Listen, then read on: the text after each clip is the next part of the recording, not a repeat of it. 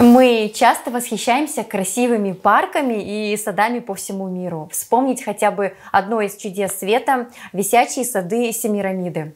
Сегодня при помощи современных технологий можно создать красоту дома не менее прекрасную. Однако тут не обойтись без помощи экспертов. Для тех, кто любит комнатные растения и хочет, чтобы в квартире они создавали ощущение уюта и тепла, наша рубрика «Домашний сад».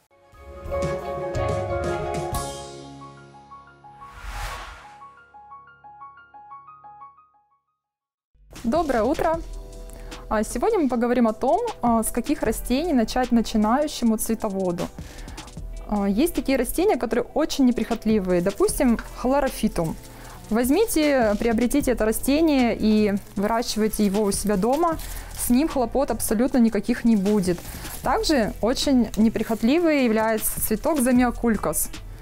Он выдерживает и умеренный полив, и умеренное солнце для него, как говорится, не помеха, потому что это теневыносливое растение. Шифлерки тоже очень неприхотливые растения. А, также, что необходимо начинающему цветоводу?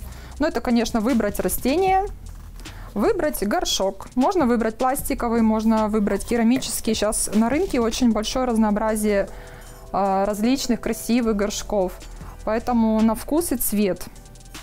Также брызгалка, опрыскивать, делать душ растениям.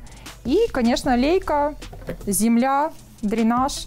Это необходимо для пересадки растений. Не бойтесь начинать увлекаться цветами. Если вам нравятся цветы, нравятся растения, хочется приобрести цветок, то приходите в магазины, выбирайте растения. Э, растений очень большой выбор представлен сейчас потому что растения привозятся с Голландии, очень большое разнообразие. А, поэтому выберите для себя то, что действительно вы захотите выращивать.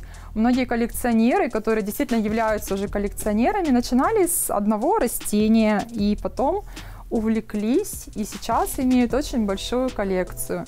А, кто-то увлекается орхидеями, выращиванием орхидей, фаленопсисов – кто-то занимается выращиванием суккулентов. Тоже очень большие коллекции можно собрать с этих растений. Кто-то кактусами увлекается, кактусоводы.